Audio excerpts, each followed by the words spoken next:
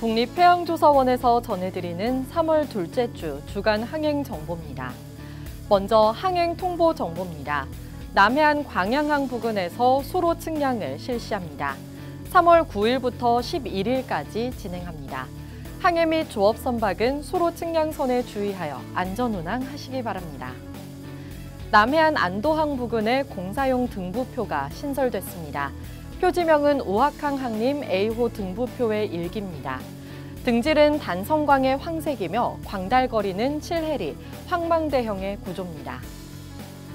국립해양특위 정보원에서 운영 중인 장거리 무선항법 시스템 코리아 로란시 체인의 기능이 러시아 오스리스크 송신국의 정기 점검으로 정지됨을 알려드립니다. 운영 중지 일시는 3월 11일 오전 6시부터 3월 14일 오전 6시까지입니다. 다음은 항행 경보 정보입니다. 동해안 속초 동방 해역에서 해상 사격 훈련을 실시합니다. 3월 9일부터 13일까지 매일 8시부터 18시까지 진행합니다.